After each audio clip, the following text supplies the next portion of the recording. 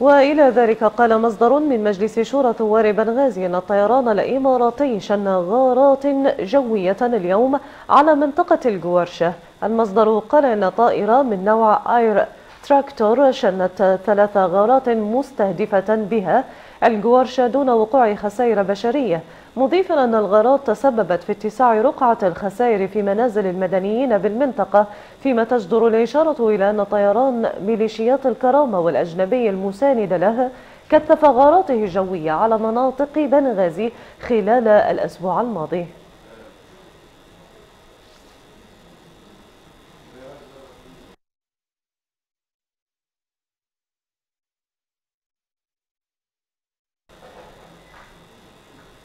ولمزيد من التفاصيل ينضم إلينا عبر الهاتف الخبير العسكري والاستراتيجي السيد عادل عبد الكافي. سيد عادل بداية باعتقادك ما هي الأهداف وراء هذه الهجمة الضخمة؟ إن صح التعبير والتي لم يعلن عنها كسابقاتها من قبل ميليشيات الكرامة على محوري جنفودة والجوارشة في الوقت الحالي. نعم تحية طيبة لك أستاذة كريمة والمشاهدينكم آه، حقيقة هي ليست آه، بالهجمات الجديدة التي تقوم بها عملية الكرامة أو قيادات عملية الكرامة. آه، نصبر على مدار عامين أو أكثر من عامين آه، ونحن نتحدث عن العام الثالث.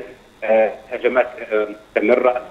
محاولة محاولة جلب الدعم الخارجي من بعض الدول بالطائرات وكذلك بعض الأسلحة الدقيقة لمحاولة طبعا آه، السيطرة على بنغازي وأيضا مدينة درنا. آه، فلذلك حقيقة هذه الهجمات آه، ليست بجديدة ولكن وتيرة التصعيد وهنا ما نتحدث عنه. بالنسبة لوتيرة التصعيد طبعا الهدف من ورائها الخسائر التي تمنى بها عملية الكرامه في صفوف عناصرها وآلياتها. من خلال الضربات الخاطفة السريعة وهذه التكتيكات التي يتبعها ثوار بنغازي وأيضا حقيقة يعني هذا دائما ما نشير إليه عبر آه، منبركم الكريم إن آه، ثوار بنغازي عادة ما يستهدفون التجمعات الهامة لقوات وهذا ما مراكز آه، جاذبية. وهذا ما يتسبب في خسائر في صفوف عناصر الكرامه والياتهم وأيضا تمنعهم من التقدم نظرا لعمليات الاستفاف التي يقوم بها ثوار بنغازي وحسر أو قيادات الكرامه عموما تستميت حقيقه لمحاولة آه، استمرار حالة الصراع ولا نقول الحسم. نعم. طيب يعني هل تعتقد بأن هناك علاقة ما بين تصريح القيادي بمجلس شورى ثوار بنغازي وسام آه، بن حميد وكذلك ما آه، يحدث الآن على أرض الواقع هناك في بنغازي وتجدد الاشتباكات؟ بالتأكيد هو مرتبط هذه التصريحات بالواقع الموجود في مدينة بنغازي آه، سواء تحدثنا عن الناحية الأمنية هم يتحدثون إن هنالك ما يسمى الجيش الوطني آه، العربي آه، ومع ذلك هذا ما يطلق عليه جيش يقوم بفتح السجون وبالاعتقالات. ولا أتصور ولا أعلم حقيقة في تاريخ الجيوش أن يكون لها سجون. عادة الشرطة العسكرية هي التي تمثل الجيش. هذا إن تحدثنا عن جيش. لذلك هنالك مغالطة كبيرة جدا.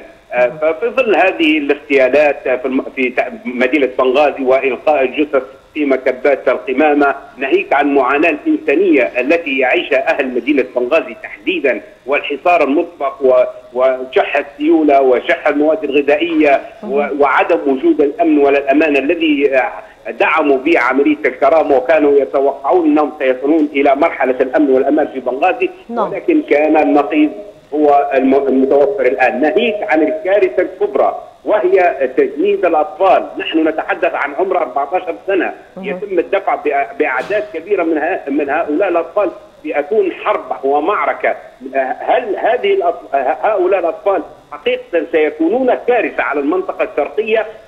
نعم. لأنهم تشبعوا بالاقتتال وبحمل السلاح وبالكره وبالعداء للمجتمع. نعم. هذه آه، المأساة الإنسانية التي تعاني منها بنغازي الشرقيه ككل. نعم يعني آه، ذكر بأن آه، أحد الذين قتلوا في هذه المعارك هو من عائلة البرغثي، إذا قسنا ذلك على عدم الإعلان عن هذه العملية هل من الممكن أن تكون هذه التقدمات لكتيبة قبلية؟ مثلا تقدم أبنائها من آه، أبناء البرغثي كرد فعل على ما قام به وزير الدفاع المكلف. آه، بالتأكيد أقولها عبر منبركم. نعم آه، قبيلة البراغثه ولا أقول كل القبيلة حقيقة لأن هنالك شرفاء داخل هذه القبيلة وإن كانوا قلة أو يدهم ضعيفة.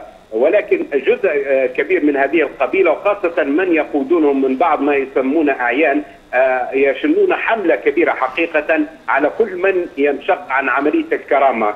فطبعا المهدي البرغثي يعتبر انشق وبدأ يتلو التصريحات عبر المنابر الإعلامية ويتوعد ويهدد وأيضا كشف الكثير من من من مغالطات ومن كوارث عملية الكرامة ومن الكذب والادعاءات الكاذبة التي نحن بالطبيعي كنا نعرفها منذ سنوات طويلة. آه، ولكن آه، عندما يظهر من أحد القيادات من عملية الكرامة وينشق عنها ويصرح ويخرج ما في جعبته من معلومات دقيقة فهذه حقيقة آه، تعتبر ضربة قاسمة لعملية الكرامة في ظل الضربات والتصريحات السابقة من بعض الشخصيات في عملية الكرامة والمحسوبة على القيادية في عملية الكرامة. نعم.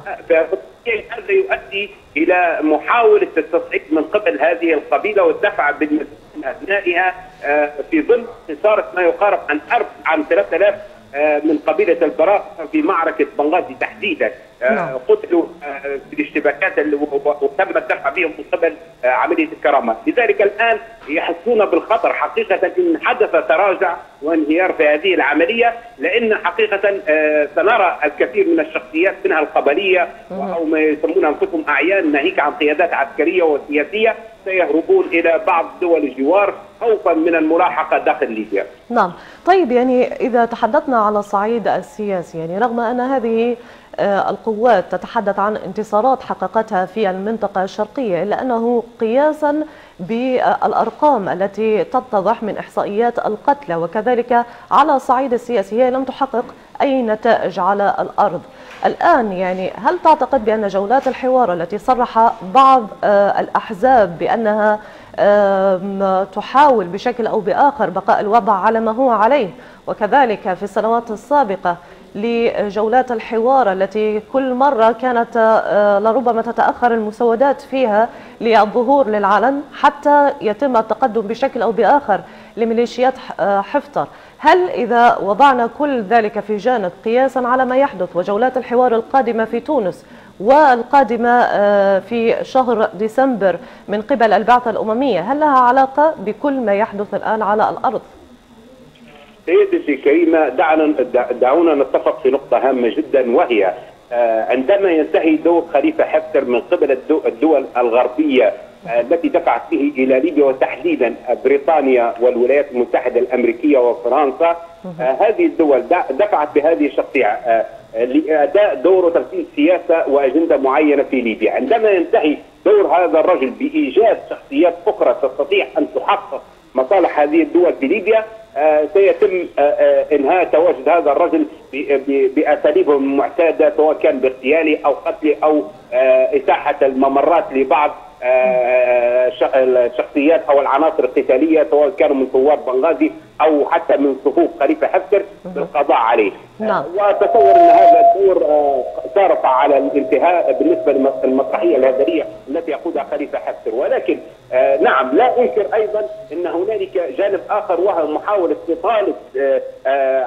الحوارات والجولات وغيره لاتاحه الفرصة لخليفة حفتر وليس للسيطرة على بنغازي نعم. وهذه ما دائما نؤكد عليها ولكن لاستمرار نزيف الدم في المنطقة الشرقية وزيادة الأحقاد لأن حقيقة للوصول إلى حالة الفقد النهائي والأعمى ما بين أبناء الوطن واحد ستظل هنالك إشكالية لمحاوله إنهاء هذه آه، آه، الأحقاد لأن هنالك سيصبح إشكالية أكبر وهي الثار والمطاردات نعم. واستمرار حالة آه، الاغتيالات في المنطقة الشرقيه نعم. وهذا ما يسعون إليه إلى عدم استقرار البلاد. نعم طيب يعني شاركت في هذه الغارات نقول طائرات لربما من نوع جديد أجنبية وكذلك هناك وجود لكاسحات إماراتية وهذه لربما خط جديد على المعركة في بنغازي دمرت ثلاثة منها حتى الآن هل يعني ذلك بأن هناك قدرة لربما بشكل أو بآخر على التقدم في بعض المحاور حالياً؟ سيدتي الكريمة عندما أتحدث عن عن أسلوب وتكتيكات ثوار بنغازي على مدار عامين وأكثر استوعبوا جميع التكتيكات والأساليب القتالية التي يستخدمها قائد عملية الكرامة حتى استوعبوا الاستشارات العسكرية التي تقدم تقدم لهم من قبل بعض الدول والمستشارين سواء كانوا غربيين أو عرب. حقيقة استطاعوا امتصاص هذه الصدمات والتعامل معها والاكتفاف على قوات حفتر أيضا العامل الدائم العامل المهم والرئيس الذي دائما نؤكد عليه هنالك من يدافع عن قضية وهي قضية وطن وأرض ودين وهنالك من يريد أن يعبث بالأرض فسادا وجل عناصر التي تقاتل في صفوف الكرامة عناصر جهوية مقيتة أيضا خريجين سجون متعاطين بالمخدرات وأعداد كبيرة جدا حقيقة. لذلك ليس لديهم هدف حقيقة في قتالهم ولذلك تحدث في صفوفهم الخسائر بسبب ارتباكهم أثناء الاشتباكات وأيضا الأطفال الذين يتم الدفع بهم في صفوف القتال ويترتب عليه قتل هؤلاء الأطفال وأيضا بعض العناصر الأخرى.